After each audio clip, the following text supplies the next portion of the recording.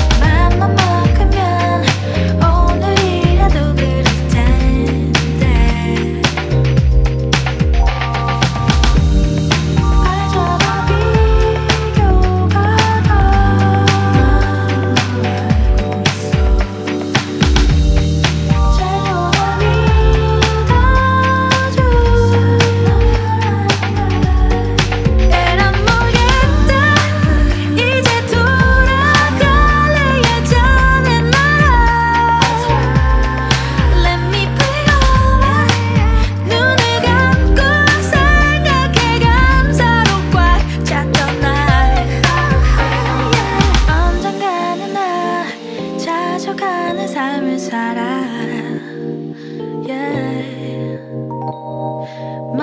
있으면 오늘이라도 그럴 거야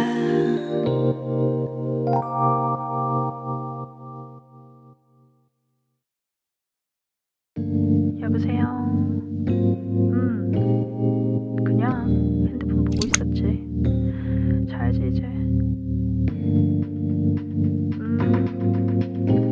thank you